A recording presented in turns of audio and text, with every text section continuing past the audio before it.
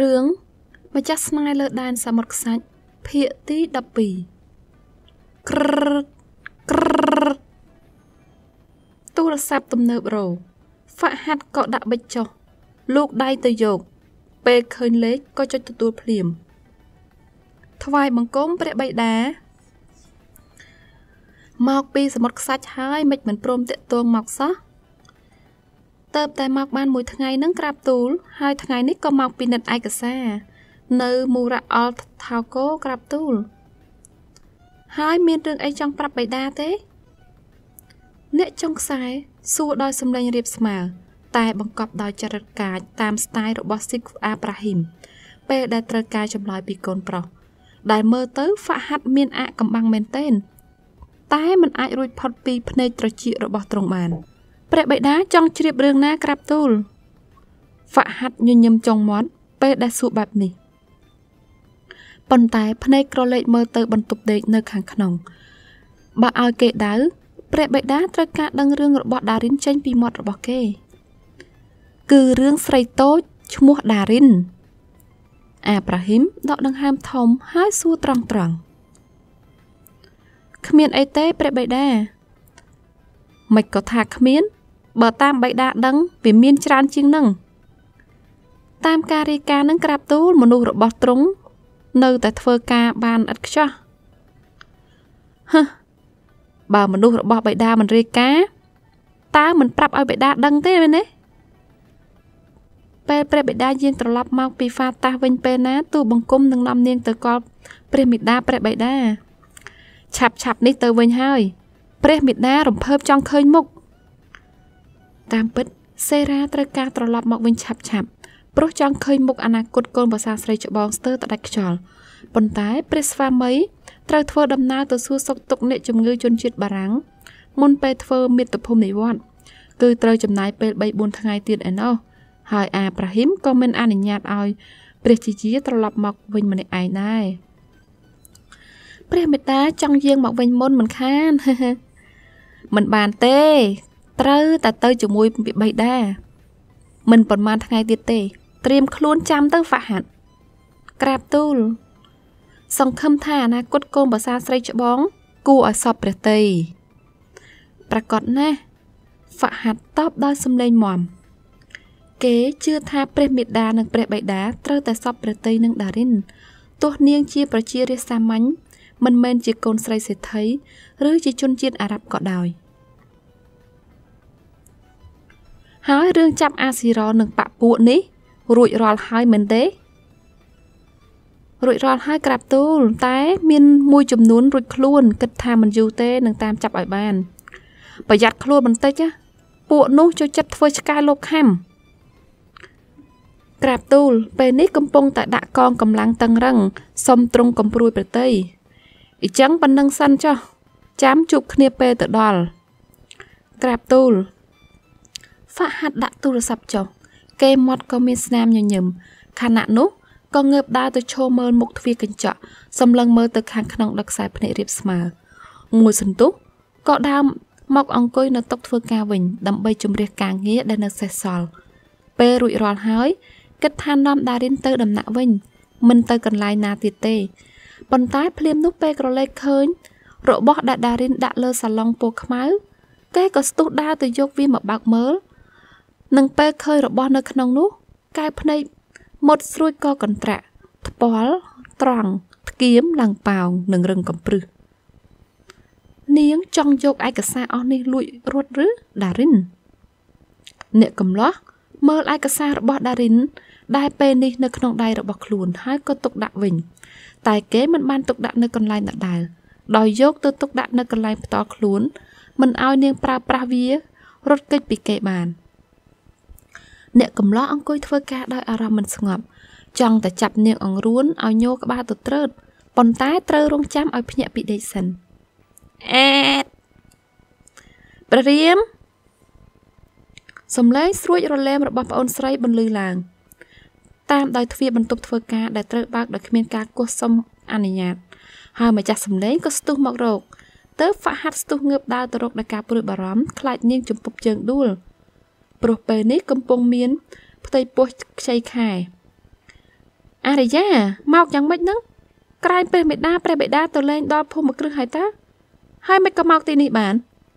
ឲ្យម៉ាទីនេះជូនមកហើយនេះស្វាមីនៅឯណានៅត្រង់នឹងអីក្រាបទូលម៉ាទីនេះដើរមករកព្រមទាំងធ្វើមកកាចដាក់ភរិយា ដែលនៅតែញញឹមពព្រាយដាក់បងប្រុស ធ្វើពើមិនដឹងខ្យល់អីទៀតហើយអាលីយ៉ាម៉ាទីនេះចាប់រវល់ការងារឬអត់ហ្វាហាត់ងាកទៅចាប់ដៃម៉ាទីនេះនិងញញឹមដាក់បន្ទាប់មកក៏ងាកមកធ្វើមុខកាចដាក់ប្អូនស្រីព្រោះគិតថានាងច្បាស់ជាអង្វរកឲ្យគេជូនមកទីនេះគ្មានការងារបន្តអីទេជូនអាលីយ៉ានិងកូនមកសិនហើយចាំទៅធ្វើបន្តពេលរួចរាល់នឹងមកយក ម៉ាទីនេះនិយាយដោយទឹកមុខញញឹមដាក់បងថ្លៃមិនខឹងអាលីយ៉ានាងក្រមុំដើរទៅរកស្វាមី ដាក់ដៃលើស្មាធំទូលាយទាំងពីរហើយជំទើតជើងថាបថ្ពាល់របស់គេខ្សឹកខ្សឺតត្រឹមប៉ុណ្ណឹងមុខកាចរបស់ម៉ាទីនេះក៏ត្រូវកំចាប់ចោលភ្លាមអ្នកណាមិនលួង អាលីយ៉ាស្រឡាញ់លោកប្តី អាលីយ៉ាប្រាប់ស្វាមីដោយសម្លេងពីរោះ ថ្ពាល់ក៏ក្រហមអៀនដែលត្រូវលួងស្វាមីនៅចំពោះមុខបងប្រុសតែបើមិនលួងមិនបានខ្លាចខឹងយូយាព្រោះនាងមិនបានធ្វើដំណើរទៅមើលការងារជាមួយប្រាប់ថាមករកបងប្រុសនឹងស្នាក់នៅទីនេះសិនព្រោះចង់ឃើញមុខអនាគតបងថ្លៃទី1នោះឯងបងក៏ស្រឡាញ់អូនអាយ៉ាផ្អែមល្ហែមឆ្អាតហើយនៅព្រះរាមអាលីយ៉ាងាកមករកបងប្រុសធំ និងខំបបោមាត់ដាក់ដោយការអឹមអៀន ដោយមានម៉ាទីណេសអោបចង្កេះនិងញញឹមពព្រាយផ្ញើអាលីយ៉ានិងកូនផងប្រញាប់ទៅមើលការងាររួចរាល់ហើយនឹងប្រញាប់មកយកអូខេអូនជូនទៅ មិនបាច់ទេនៅទីនេះហើយនៅខាងក្រៅអង្គរៈក៏មានត្រូវឡើងយន្តហោះហើយឆាប់មកយកអូនណាអូនអបសក់អាលីយ៉ាម្ញាក់ម្ញាក់ដាក់ស្វាមីម៉ាទីណេសក៏ញញឹមហើយអោនមកថាបបោមាត់ក្រហមព្រឿងព្រឿង ព្រមទាំងសម្លឹងមើលមុខនាងដោយខ្សែភ្នែកនៃក្តីស្រឡាញ់ចាប់ការងារហើយនឹងស្រោតមកមើលថែខ្លួននឹងកូនក្នុងផ្ទៃឲ្យបានល្អម៉ាទីណេសក្រសោបភរិយាប្រើម្រាមដៃស្រឡូនដូចមនុស្សស្រី អង្អែលបបោមាត់របស់នាងថ្នមថ្នមហើយអោនថើបថ្ងាសមួយខ្សឺទៀតទៅសម្រេចចិត្តចេញពីបន្ទប់ធ្វើការរបស់ហ្វាហាត់ជាបន្ទាន់ដោយមានអង្គរៈរត់តាមស្រួលស្រខណៈដែលអាលីយ៉ាញញឹមពព្រាយតាមមើលស្វាមី ក្រវីដៃលាតតែគេចូលចន្តាយុនផ្អែមលហើយមិនក្រែងចិត្តបងប្រុសសោះហើយព្រះរាមបង្អាប់អាលីយ៉ាទៀតហើយនាងងាកមកធ្វើមុខក្រមើដាក់បងប្រុសបន្លប់ការអឹមអៀនហើយញញឹមពព្រាយដើរមករកឯណាអនាគតនៃបងធំរបស់អាលីយ៉ាខ្ញុំចង់ឃើញ ដំណឹងលឿនមែនណោះអ្នកណាប្រាប់ មិនប្រាប់ថាអ្នកណាប្រាប់តែអាលីយ៉ាដឹងអាលីយ៉ាគ្រវីក្បាលសើចញឹមញឹមរឿងនេះនាងដឹងពីព្រះមេដានោះឯងទ្រង់សប្បាយចិត្តនឹងរំភើបដល់ថ្នាក់ទូរស័ព្ទទៅរកនាងធ្វើឲ្យបដូរចិត្តត្រឡប់មកទីនេះមិនព្រមធ្វើដំណើរទៅមើលការងារជាមួយស្វាមីធ្វើឲ្យស្វាមីងងក់តិចតួចប៉ុន្តែត្រឹមមួយថ្ងៃប៉ុណ្ណោះដែលនៅឆ្ងាយគ្នាពេលគេប្រជុំរួចរាល់នឹងមករកនាងភ្លាមអ៊ីចឹងតើបានឲ្យស្វាមីទៅធ្វើការម្នាក់ឯង ចង់ដឹងរឿងគេមិនសំណំគឺអាលីយ៉ាចង់ជួបមុខមុនគេមុនឯងហ្នឹងណាព្រះរាមហ្វាយេតជួបរួចទៅហើយអាលីយ៉ាចង់ជួបដែរ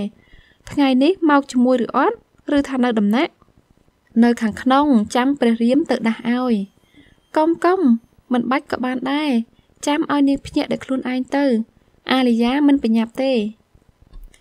អ៊ីចឹងទៅអង្គុយចាំនៅត្រង់នោះព្រះរាមឲ្យគេយករបស់ញ៉ាំមកឲ្យឲ្យអាលីយ៉ាជួយធ្វើការងារល្អជាងម៉ាទីណេសមិនព្រមឲ្យអាលីយ៉ាជួយសោះនាងប្រាប់បងប្រុសនឹងអោបដៃអោបជើងយកចិត្តយកថ្លើម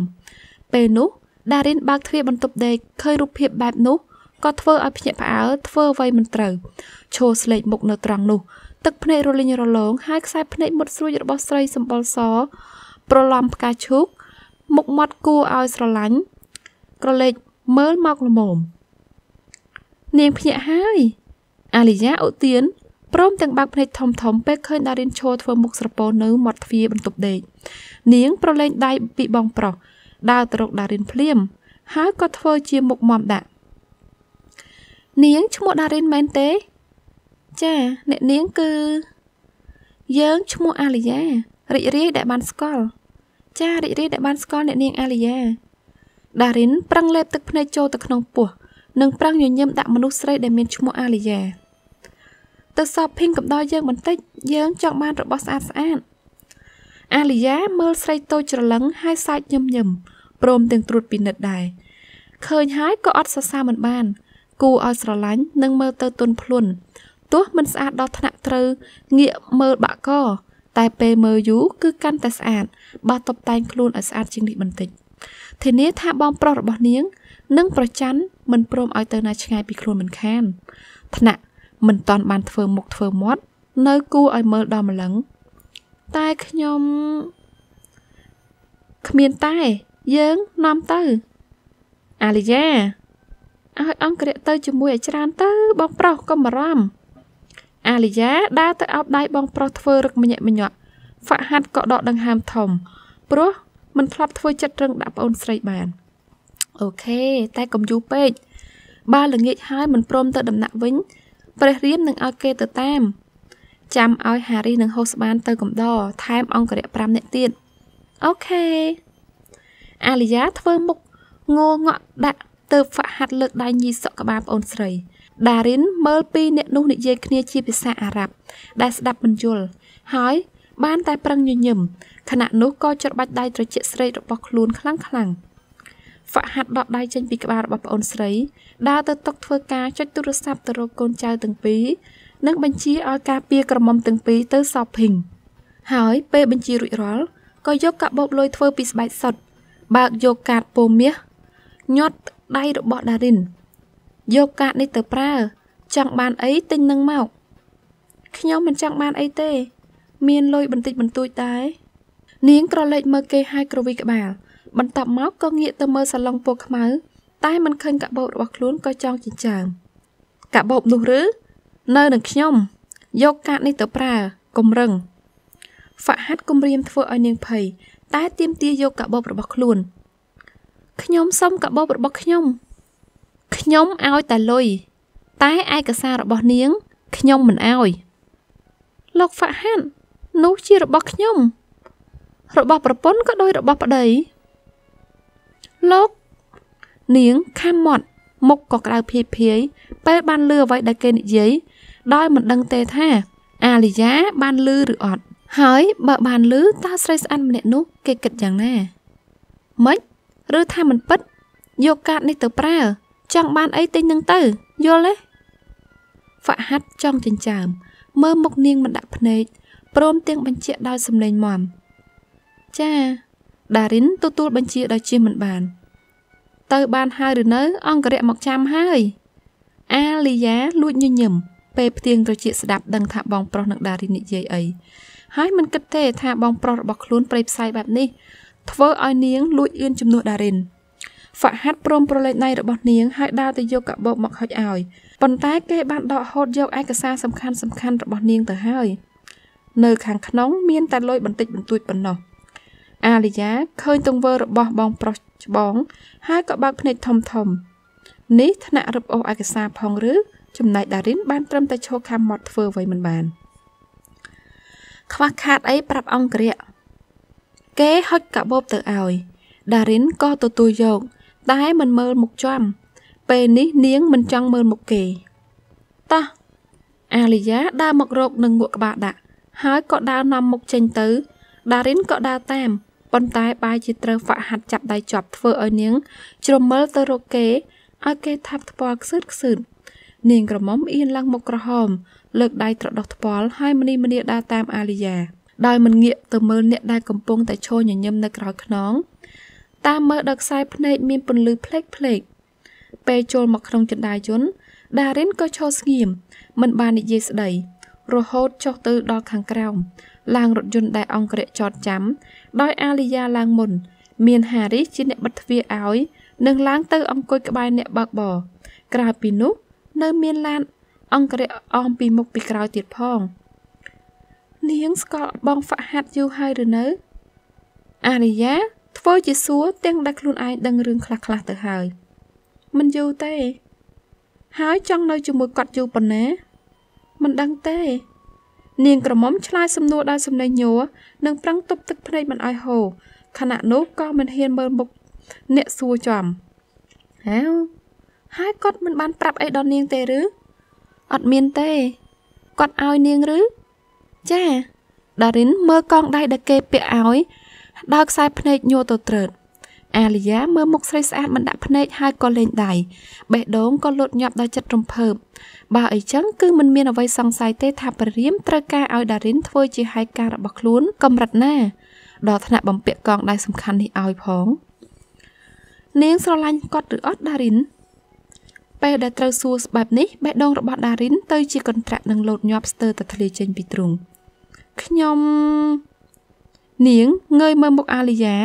ដើរខ្សែភ្នែកមិននឹងថឹងហាក់ដូចមនុស្សមិនធ្លាប់ឃើញគ្នាខ្ញុំអីប្រាប់មកថាស្រឡាញ់គាត់ឬអត់អេឬនាងគិតថាខ្ញុំត្រូវជាស្អីនឹងគាត់អាលីយ៉ាសាច់ញឹមញឹមមើលមុខដារិនយល់ថាស្រីស្អាតច្បាស់ជាលងស្នេហ៍បងប្រុសរបស់ខ្លួនប៉ុន្តែពន្លឺភ្នែកដែលមើលមកនាងដូចមិនច្បាស់លាស់ឬមានការភ័យខ្លាចហើយនាងក៏នឹកឃើញថាមិនតាន់បានណែនាំខ្លួនត្រូវជាស្អីនឹងហ្វាហាត់ ព្រោះហេតុផលនេះទើបធ្វើឲ្យដារិនសោកសៅនិងចង់យំគ្រប់ពេលវេលាខ្ញុំមិនបានគិតទេ នាងក្រវីក្បាលមិនស្មានថាអារិយាទាយត្រូវនាងមើលដឹងថានាងគិតយ៉ាងម៉េចខ្ញុំប្រាប់ឲ្យដឹងទៅចោះថាខ្ញុំត្រូវជាស្អីនឹងគាត់ខ្ញុំជាប្អូនស្រីរបស់គាត់មិនមែនជាគូស្នេហ៍ឬជាអ្វីទាំងអស់ខ្ញុំរៀបការហើយហើយពេលនេះកំពុងមានផ្ទៃពោះខ្ចីខែដែរ អាលីយ៉ាអស់សំណើចហើយញញឹមពព្រាយដាក់ដារិនព្រមទាំងប្រាប់ពីទំនាក់ទំនងរបស់ខ្លួននឹងហ្វាហាត់ឲ្យដារិនបានដឹងដើម្បីកុំឲ្យស្រីស្អាតខ្វល់ចិត្តអ្នកនាងអាលីយ៉ាដារិនមើលអ្នកនៅចំពោះមុខដោយមិនដាក់ភ្នែកពេលនោះអាលីយ៉ាក៏ចាប់ដៃរបស់ដារិនទៅដាក់លើពោះរបស់នាង បន្តិចទៀតនាងនឹងមានដូចខ្ញុំដែរអូក្រុមគ្រួសាររបស់យើងមានបងប្អូនទាំងអស់5នាក់ហ្វាហាត់ជាបងប្រុសច្បងហ្វាយេតជាបងប្រុសទី2 ខ្ញុំទី3និងប្អូនប្រុស2នាក់ទៀតគឺហ្វាខីរុននិងឌីមហាំនាងបានជួបអ្នកណាខ្លះហើយខ្ញុំបានជួបលោកហ្វាយេតនិងអ្នកនាង តែពីរអ្នកទៀតមិនតាន់បានជួបបន្តិចទៀតបានជួបហើយប្អូនប្រុសទាំងពីររៀបការរួចហើយនឹងមានការងាររវល់ណាស់មិនសូវមានពេលទំនេរប្រមាណទេ ចាហើយអ្នកនាងនៅឯណាមិនក៏ខ្ញុំមិនដែរជួបខ្ញុំនៅជាមួយស្វាមីភិកច្រើននៅបរទេស តែថ្ងៃនេះមករកបងប្រុសធំអញ្ចឹងតើហើយនាង ដឹងថាបងប្រុសធំជាអ្នកណាទៅតែដឹងដារិនងក់ក្បាលនឹងប្រាប់អាលីយ៉ាដោយសំឡេងខ្សាខ្សាវនាងដឹងថាគេជាអ្នកណា ពីមាត់អ្នកដតីរហូតប៉ុន្តែគេវិញបែរជាមិនព្រមប្រាប់នាង ស្លាប់ហើយបងប្រុសធំមិនបានប្រាប់ទេឬដារិនខាំមាត់អោនមុខជ្រប់ធ្វើឲ្យអាលីយ៉ាចំហមាត់ធ្លុងដោយការងឿងឆ្ងល់ អូយមិនគិតច្រើនទេបដូររឿងថ្ងៃនេះ យើងទៅសពភីងឲ្យណាណីចាំយើងរើសឈុតឲ្យស្អាតស្អាតលេងឲ្យប្រលៀមធំសឡង្កាំងទុកចិត្តលើយើងបានពេលនេះអាលីយ៉ាប្រើពាក្យរាជស័ព្ទដាក់ដារិន ដោយទឹកមុខរីករាយដើម្បីមិនឲ្យដារិនសោកសៅពេលទៅដល់ផ្សារទំនើបហើយព្រះនាងនៃអាន់ហ្វាតាសក៏នាំអនាគតបងថ្លៃស្រីទី1រើសរបស់នេះ របស់នោះមានទាំងសម្លៀកបំពាក់ស្បែកជើងកាបូបទឹកអប់គ្រឿងសម្អាងច្រើនតែម្ដងទោះដារិនបដិសេធក៏ត្រូវជំរុញឲ្យយកព្រះនាងទូរស័ព្ទពីអង្គហ្វាហាត់ពេលកំពុងសອບភៀងយ៉ាងភ្លើតភ្លើនហារីសក៏យកទូរស័ព្ទផ្ទាល់ខ្លួនមកហុចឲ្យអារីយ៉ាអារីយ៉ាអារីយ៉ារើសរបស់មិនតាន់រួចទេព្រះរាមអស់ពេលហើយអារីយ៉ានាំប្រពន្ធរបស់ព្រះរាមមកវិញភ្លាមព្រះរាមចាំនៅដំណាក់ ព្រះរាមចិត្តអាក្រក់តិចអាលីយ៉ានាំដារិនរត់នាងនិយាយដល់សំឡេងកងួរដាក់បងប្រុសផ្ដាច់ការទាំងដែលពេលនេះរើសរបស់គ្រប់អស់ទៅហើយហ៊ានសាកមើលច្បាស់ជាក្តឹងគ្នាមិនខានព្រះរាមនឹងឲ្យម៉ាទីនេះខំខៀងនៅក្នុងបន្ទប់មួយអាទិត្យព្រះរាមអូខេទៅវិញឥឡូវក៏បានឆាប់មកព្រះពរអាលីយ៉ាទទួលបញ្ជាឲ្យហុចទូរស័ព្ទឲ្យហារីសវិញ ព្រះរាមទេតាមឲ្យទៅវិញសំណាងល្អដែលទិញរបស់រួចរាល់ផ្ដាច់ការមែនទែននាងកុំទៅចុះញោមគាត់ពេកធ្វើខ្លួនឲ្យរឹងមាំកុំឲ្យគាត់គំរាមបានដារិនបានតែសាច់ញឹមញឹមអ្នកណាទៅស៊ូបានទៅ គេផ្ដាច់ការដោយដែលអាលីយ៉ាថានឹងរថយន្តរត់មកចតនៅមុខដំណាក់អ្នកបំរើមកបើកទ្វារឲ្យដារិនចុះមុននិងជួយគ្រាអាលីយ៉ាឲ្យមកឈប់ក្បែរ តែមិនតាន់បានដើរទៅណាផង ហ្វាហាត់ក៏ដើរមករកភ្លាមមិនបានទិញស្អីទេឬហ្វាហាត់សួរដារិនដោយសំឡេងកាចព្រោះការដែលគេឲ្យនាងមិនត្រូវបានប្រើប្រាស់នោះឯងអាលីយ៉ាទិញឲ្យជាកាដូទៅមិនចាំបាច់កាលកាតរបស់ព្រះរាមអាលីយ៉ាចេញមុខនិយាយជំនួសព្រោះខ្លាចបងប្រុសស្ដីឲ្យដារិនត្រូវគ្នាដល់ហើយណោះហ្វាហាត់ក្រហមដាក់ប្អូនស្រីដែលធ្វើមុខជ្រលើមដាក់ ហើយមើលមកដារិនដឹកខ្សែភ្នែកស្រទន់ឲ្យគេរៀបចំតុកឃ្លានហើយឬនៅឃ្លានហើយយើងទាំងពីរមិនតន់ញ៉ាំអីផង អាលីយ៉ាតបជំនួសព្រមទាំងងក់ក្បាលដាក់បងប្រុសខណៈនោះក៏អង្អែលពោះខ្លួនឯងព្រះរាមនឹងទូលពិតម៉ាទីនេះ ថាព្រះនាងអាលីយ៉ាឃ្លានតែមិនព្រមញ៉ាំបាយកុំអីមិនតាន់ដល់ពេលញ៉ាំនឹងណាតែពេលនេះឃ្លានហើយដល់ពេលល្មមតោះយើងទៅទៅ អាលីយ៉ាធ្វើមុខខ្មោហើយដើរនាំមុខភ្លាម តែដើរមិនលឿនប៉ុន្មានព្រោះខ្លាចចំពប់ជើងដួលធ្វើឲ្យហ្វាក់ហាត់ដកដង្ហើមធំ ហើយស្រវាចាប់ដៃដារិនដើរចូលទៅខាងក្នុងពួកគេដើរចូលមកក្នុងបន្ទប់អាហារអង្គុយតាមកៅអីរៀងខ្លួន ដោយមានសមាជិកតែ3នាក់ប៉ុណ្ណោះហ្វាយេតមិនបានមកចូលរួមព្រោះត្រូវចេញទៅទទួលទាននៅខាងក្រៅជាមួយអតិថិជន ដែលមកនិយាយការងារដោយពេលទទួលទាន មិនបាននិយាយគ្នាច្រើន ហើយពេលរួចរាល់ហ្វាហាត់ក៏ដឹកដៃដារិនជូនដំណើរប្អូនស្រីមកដល់បន្ទប់ដេកដែលនៅមិនឆ្ងាយពីបន្ទប់របស់គេជូនត្រឹមនឹងបានហើយព្រះរាមនិងដារិនទៅសម្រាប់ទៅអឺម៉ាទីណេសទេមកប្រាប់ព្រះរាមថាប្រហែលមកដល់ពេលអាត្រៀតព្រះរាមឲ្យគេទៅចាំទទួលនៅពលានយន្តហោះហើយអរគុណព្រះរាមអារិយាញញឹមពព្រាយពេលដឹងថាស្វាមីនឹងមកដល់យប់នេះ ទូរស័ព្ទរបស់នាងអស់ថ្មនោះឯងទៅធ្វើឲ្យគេតាក់ទងមកមិនបានកុំភ្លេចពាក់ឈុតដែលអាលីយ៉ាប្រាប់ដារិនអាលីយ៉ាងាកមកប្រាប់ដារិនហើយមនីមនីទាញទ្វារបន្ទប់បិទព្រមទាំងលួចញញឹមញញែមតែម្នាក់ឯងមានក្តីសុខព្រះនាង មុខរបស់ដារិនឡើងក្រហម ហើយពេលងាកទៅមើលហ្វាក់ហាត់ដែលមើលមកដូចជាសង្សួរតែពេលគេមិនសួរនាងក៏ដើរតាមការដឹកដៃរបស់គេ ចូលបន្ទប់ដេកដោយបេះដូងលោតញាប់សង្ឃឹមថាគេមិនសួរនាំរឿងឈុតនាងមិនពាក់ជាដាច់ខាតហ្វាក់ហាត់នាំនាងចូលបន្ទប់ដេកបិទទ្វារចាក់សោហើយទាញនាង ទៅឈរកណ្ដាលបន្ទប់ចាប់ស្មាទាំងពីរឲ្យបែរមុខមកមករោគនិងភ្ងើយ៉ាងការឲ្យប្រសពភ្នែកជាមួយឈុតស្អីដែលអាលីយ៉ាប្រាប់ឈុតរាត្រីឈុតពាក់នៅផ្ទះដែលទិញឲ្យអ៊ីចឹងឬហ្វាក់ហាត់ជ្រឹមភ្នែក មើលមុខស្រស់ស្អាតតែក្រហមងៀងរបស់ដារិនមិនដាក់ភ្នែកគេមិនចង់ជឿអ្វីដែលនាងប្រាប់ព្រោះតែមុខក្រហមងៀងនិងសម្លេងញញោទៅប្រឡែងដៃពីស្មារបស់នាង ចាសុំទៅងូតទឹកមុនអញ្ជើញថ្ងៃនេះខ្ញុំអនុញ្ញាតឲ្យនាងងូតទឹកមុនហ្វាក់ហាត់ញញឹមធ្វើរឹកដូចចិត្តល្អធ្វើឲ្យដារិនងើយមើលមុខគេដោយការងឿងឆ្ងល់ហើយក៏បែរខ្លួនដើរសម្ដៅបន្ទប់ទឹកជាបន្ទាន់ព្រោះខ្លាចគេបដូរចិត្ត ខណៈដែលហ្វាក់ហាត់ញញឹមចុងមាត់ហើយដើរចូលបន្ទប់តែងខ្លួន គេរកមើលកន្លែងដាក់សម្លៀកបំពាក់របស់ដារិន ដែលពេលនេះមានសម្លៀកបំពាក់ប្លែកៗជាច្រើនមកព្យួរបន្ថែម តែមិនឃើញមានអ្វីប្លែកភ្នែកព្រោះធ្លាប់ឃើញអស់ទៅហើយទៅទាញថត នៅខាងក្រោមទៅឃើញឈុតថ្មីដែលគេ មិនមែនជាអ្នកទិញឲ្យទៅយកម្រាមដៃគៀបវាចេញពីថតនោះ លើកមកដាក់ពីមុខ ត្រឹមប៉ុណ្ណឹងក៏ធ្វើឲ្យភ្នែកមុតស្រួចជាពន្លឺភ្លេកភ្លេកគេមាត់លំអដោយស្នាមញញឹមកំហូចគេបិទថតវិញ ហើយកាន់ឈុតនោះទៅដាក់លើក្រេដេកបន្ទាប់មកក៏ដោះសម្លៀកបំពាក់យកឈុតមកឃ្លុំពាក់អង្គុយចាំអ្នកកំពុងងូតទឹកដោយចិត្តត្រជាក់ទ្វារបន្ទប់ទឹកត្រូវបានបើកតាម ដោយអ្នកដែលរុំខ្លួនដោយអាវឃ្លុំងូតទឹកពណ៌សសក់វែងរំសាយត្រូវលើកបួងធ្វើឲ្យឃើញមុខស្រស់ស្អាតរបស់នាង ដែលសក់ខ្ចីគ្មានគ្រឿងសម្អាងគួរឲ្យចង់ថើបមែនទែនងូតទឹករួចហើយលោកងូតចោះនាងសម្លឹងមុខគេដែលងើបឈរយឺតយឺតនឹងដើរមករកនាង នាងមើលគេដើរខ្សែភ្នែកញ័រតិចតិចនិងខំបបោមាត់ពេលគេដើរមកឈរទល់មុខមើលមិនដាក់ភ្នែកគេមាត់មានស្នាមញញឹមពាក់ ឈុតនេះចាំខ្ញុំចេញពីបន្ទប់ទឹកផង គេចាប់ដៃរបស់នាង ហើយដាក់របស់នោះ ថែមទាំងមើលមុខដោយខ្សែភ្នែកបង្កប់បង្ខំដារិនមើលរបស់នៅក្នុងដៃហើយក៏ក្តៅមុខភាយភាយព្រោះវាជាឈុតដេកស្ដាងរហៀគ្មានអាវក្នុងសាច់ក្រណាត់ស៊ីទ្រូស្ទើរតែបិទបាំងអ្វីមិនជិតដៃអាវខ្សែមួយតូច ជាងសរសៃស្ប៉ាហ្គេតធីត្រឹមប្រាមរៀមដៃមួយតាក់ក៏ដាច់ទៅហើយ នៅមានខោក្នុងពណ៌ខ្មៅចងខ្សែនោះទៀតមិនពាក់ទេ នាងក្រវីក្បាលញាប់ស្អេកនិងបេះដៃគេចេញ